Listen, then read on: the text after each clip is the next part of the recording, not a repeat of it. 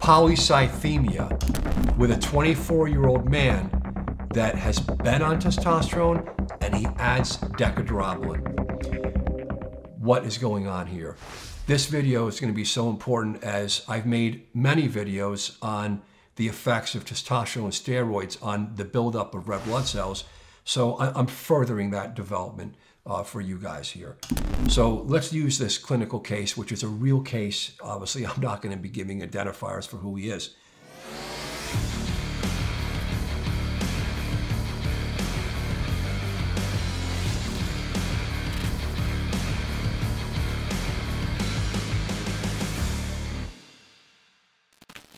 This is a 24 year old man that comes to me and he has been on testosterone secondary to anabolic steroid induced hypogonadism for two years. He used steroids from the age of 19 to 22, three years, and he ended up suffering where he came off and he was just not able to feel well enough after at least a year or so. So he has a diagnosis of anabolic steroid induced hypogonadism. And for the last two years or so, he's been doing very well, very happy. And we're going to talk about the comparison of his CBC and his iron studies from his baseline to what happened when he added Deca-Durabolin. Amazing case and such a representative case because this is so common. Test and DECA.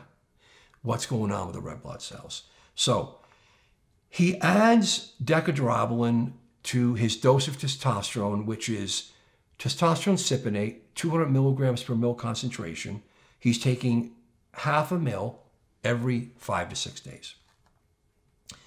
He adds Deca-Durabolin at a dose of 200 to 300 milligrams per week. He does it for four months. What happens? So, and this is like a standard case, right, guys? I mean, he usually you see more testosterone. You know, the ratio of test to DECA is usually two to one or more. So you'd think if he's on two to 300 of DECA, he should be on about four to 500, maybe six of test, but he wasn't. And he didn't have DECA DEC. So this was enough of the ratio of the combination of test and DECA for this man for at least four months or so to feel well. And he did it for muscle building. He just wanted to do it because he wanted to get a little stronger. He was very happy on TRT. But then, you know, men, this is reality. I mean, doctors are understanding in healthcare providers that these men are doing this. So you have to understand what they're doing and not smash them in the face and just say no, to work with them. I don't prescribe, I'm not doing it. These are men that are doing it to themselves. So you have to work with them. Here we are. So baseline CBC is that on testosterone for about two years, his baseline CBC completely normal. Hemoglobin 15.5 grams per deciliter, hematocrit 45.3%. This, this is completely normal. That's not even upper limit normal. He's a young, healthy man. No risk factors for secondary polycythemia. We're going to go into a minute. Now, he goes on the added androgen, which is Deca-Durabolin, NOR19 drug. You guys know all this. Uh, he comes into me for the consultation. So what do I look at? We look at the CBC again and everything else, all these other labs. I do a full comprehensive review and iron studies that he's never done. So hemoglobin goes from 15.5 to 16.9 grams per deciliter. Hematocrit 45.3 to 50.8. Now, this is not crazy. This is not massive polycythemia. Technically, this is actually not even polycythemia because the upper limit normal in the world on an H&H hemoglobin hematocrit is 18 over 54. And I learned this from the best hematologist in the world. So depending on your reference range, you, you may or may not have reference range related polycythemia. But if you went to another lab, it would be normal. Huge point, guys. I know I know guys who follow me and you watch the whiteboard stuff when I've done this over the years, you understand what I'm talking about. This is hematology on steroids. So when you look at this, I'm developing these protocols for years because this is without doubt the top five most esoteric, just unknown issue for what's going to happen to you guys, all of us, on testosterone for decades relating to the circulatory system, the red blood cells, an iron overload. Let's go. So his iron levels, and I don't have a baseline, I just have a baseline for his CBC. I repeat the CBC and I got iron levels. It's called, it, this is called iron studies. The iron levels, 231 micrograms per deciliter. That range goes from 50 to 195. So he's significantly elevated. The percent saturation, the iron sat, again, hematology, guys, very complicated stuff. This is esoteric stuff. 85%. Now that is really significant. Any doctor, hematology guy sees this, they're going to think, whoa, what's going to happen? You're going to deposit iron. You have hereditary hemochromatosis or polycythemia vera. So, but he doesn't have that. Let's go into it in the end. So this guy's percent, this iron sat is 85%. Upper limit normal is 48 to 50% max. His ferritin, which is very interesting, it's unusual to see it elevated unless he really has the underlying hematology disorder of hereditary hemochromatosis or polycythemia vera, which most of these guys don't have. If you have that, this is uh, this is really a problem, and I've seen a few cases.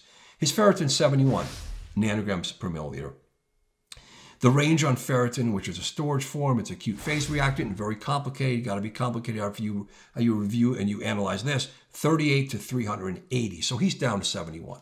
Okay, so what's going on here with this process? So it's polycythemia, but it's really not technical polycythemia. It's a silent process, and that's why I'm bringing this to you guys, your attention. Because over years and years and years, it's the silent disease that's going to get us. Coronary artery disease. It's a silent disease things like prostate cancer, issues and changes in your body that happen over years and years and decades. This the condition is termed androgen induced erythrocytosis. Every single man gets some of this erythrocytotic state when he's on androgens. 100%. No one becomes anemic on androgens. If you do, you're bleeding. You got something wrong. So it leads to a polycythemic state depending on if it goes up over 18 to 54. You guys, you got to know the numbers, guys. You're going to be on the app. You're going to understand stuff. You're going to be working with us on the app. You're going to understand your numbers and you're going to live a much better quality of life. So, again, the risks, all men are going to see some type of increase in the red cells. Is it dangerous? What are the risks? So the risks are going to be androgens. Most men who have this quiet carrying state that I've discovered, they, they're quiet and quiescent. And you add androgen, poof. And now here are the other risks. So it's androgens. He's on test and DECA. Genes, European ancestry is definitely a gene state in the, in the carrying state for hereditary hemochromatosis. When I see guys that are very sensitive to things like this, early androgens, and they're young. Okay, having a young man, it's unusual to see this. Certainly in the iron studies, we don't understand. I don't understand exactly the implications and what to do. Genes, European ancestry. I see that men are sensitive to androgens when, and I check gene studies on these guys, very academic. I mean, who's going to do this? I see they have a carrier state for hereditary hemochromatosis. I've learned this a long time ago. So, but what does that do for the guy? Well, in the end, we're going to talk about it. Maybe you can't do this much androgen. Be careful. Treat the other issues. Age. Young men don't get this, this androgen-induced erythrocytotic state anything like guys like me that are getting older. We don't really know why. Despite weight related sleep apnea and living in elevations and all these other issues, you don't see it. I don't know why. As men get older, they're just more prone to this, notoriously seen. Next, sleep apnea. There's no question when men have even mild obstructive sleep apnea, this pushes and has another force for increasing that state of androgen induced erythrocytosis. Elevation. I have guys that live in high elevations, Colorado and down in South America, and then smoking. So again, you have genetics, you have the steroids themselves, the doses, the type of steroids. It's amazing that the drugs, we understand the drugs, the dose and the type. So testosterone esters and the dose more and more, obviously dose dependent fashion. And then Deca-Durabolin, which is a NOR19 drug, this is classically used in the 70s for anemia. So we understand that. Another drug you guys know is classic, you see it with, is equipoise. So that's a testosterone derived drug. But all these drugs have effects on the body's ability to make red blood cells. Very complicated. So, what are the medical concerns? Why do we even care about this, the thickened blood? And again, the diagnosis is technically not polycythemia until you're over 18 grams per deciliter, over 54% hematocrit. But depending on your health issues, you're not going to want to go to this level. I don't see DVTs and blood clots and heart attacks and strokes and blindness and all this stuff. I it's rare. I see it. I don't see it regularly. And I have so many men I see, we're just trying to stay ahead of the curve. So we don't have data for this. But I tell you, it's concerning, and you can't just let a patient sit there hanging out to dry when his hematocrit and hemoglobin and iron studies are going up off the chart. What's to you're going to deposit this iron in his blood, into his body, in his organs, in his heart, his liver, and his internal organs. This is the secret. So, what are the risks? If you go to any doctor, any internist, any primary care that does, knows nothing about steroids, and they see that elevated hemoglobin hematocrit. That's why they concern for you guys and they stop testosterone. And then you, what do you do now? That's a whole nother issue. The concern is blood clots. On the venous side, it's DVTs, deep venous thrombosis, and pulmonary embolisms. On the arterial side, it's heart attacks and strokes. And again, we have no direct data directly for this.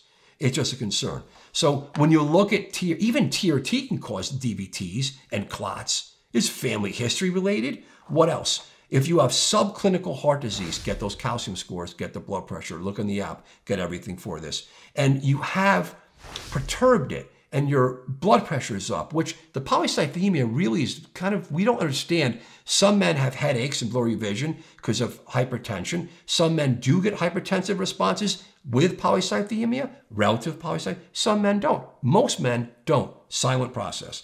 Next, the sedentary state. We see patients and people that have blood clots from traveling on planes. After an orthopedic surgery, notorious risk, blood clots, DVTs up to the lung, you can die from a pulmonary embolism. So, in the end of the day, the real concern that everyone knows this, by the way, the concern and what I picked up and I'm working on with my research and my concern with my patients, why I'm checking this stuff very detailed, is that when the the hematologist said to me, You know, Tom, Dr. O'Connor, in the end of the day, if these guys have all that extra rich blood that is iron laden and percent saturations, is it going to deposit into their tissues, their heart and their liver? Not to mention their brain and testicles. It's hereditary hemochromatosis. It's going to deposit. It's de- deposition disease of iron. You don't want that. That's my main concern. And that's what's novel. All the other things I presented for the risks, the DVTs and the heart attacks, those are theoretical risks. This is something that I know is going to be a risk. So, what do you do? What do you do? You have to lower the dose and get off the DECA for a while. And he was Doc. I'm stopping DECA. Obviously, he's all set with DECA. I'm not sure he'll ever want to do DECA ever again. He saw he was concerned. He saw the iron levels. He was very concerned. And it's interesting that his CBC was otherwise normal. So you got to be careful. Check a CBC, check those iron studies. Iron, percent saturation, ferritin. And understand your risks. All the if you have family history of heart disease, if you have family history of blood clots and DVTs and strokes, if you have sleep apnea, please, all these things, you have to be aware of these guys. And you're going to have to work around with the androgens, guys. And you can live on some TRT. Hopefully, I've seen a rare number of men where you can't even give them baby doses of TRT because they despite their, they can't. So they have to not do TRT. Most doctors don't know what to do. They say stop the testosterone, phlebotomy, stop testosterone. I don't know. Let it come down, the red cells, um, let it heal up, and then go back on it, and then you repeat the cycle. So there has to be phlebotomy. So I phlebotomized them once. Not this indiscriminate I phlebotomize every two or three months coming from these anti-aging places, and guys in the streets are phlebotomizing to trash cans. I'm amazed, guys. Come on. So careful phlebotomy, and then you follow up the CBC, which you'll see it go down significantly, and the iron studies. But you don't want to over phlebotomize because what's going to happen is you're going to end up looking a, a deteriorated state where you see ferritin super low, iron saturations low, and iron levels low. And I see men don't feel well. I know I've presented this before to you guys, and I know it's very esoteric. That's why I want to present this so aggressively to you. You want to work with the app. You want to get your information right from the app with me. You want to work with your doctors. Are you going to find a board certified academic doctor like me or hematologist on every street corner? The answer is no. You have to understand, young men, what you're doing. If you have too much red blood cells, and what I think is even worse, chronic iron overloaded state, that's not going to be good. I've already seen one man where he popped into episodes of ventricular tachycardia. I think I presented that case. Thank God he survived. He had this. He had the, the vest on for the shocking vest. That was a scary time for him. He his iron levels were off the chart. We never even knew until we checked. I started developing these protocols in the last two or three years. I talked to his cardiologist, okay, who is who's an electrophysiologist, and I ran the case by him, and he said, "Tom, it makes sense, doctor. If you overload iron into your heart, there's an electrical part of your heart. Iron conducts electricity. This man had, had non sustained V-tach. That's deadly. Non sustained is the key. They burned out, they, they found it, they found his area, they have no etiology for why. And in the end, we think this is a rare case where the man was living on testosterone and steroids, he's in his 50s, and silent, and he had iron overload into the myocardial tissue. The electrical system is there. It ran through the electrical pathways and it caused non sustained V-tach. If it's sustained V-tach, that's cardiac arrest. Guys, thank you so much. This is a crazy one. I really appreciate all you guys so much for trusting me. We're cranking the world more and more. You got to get on the app. That's who I'm servicing the world, guys. Anabolic.app.com. Thank you so much.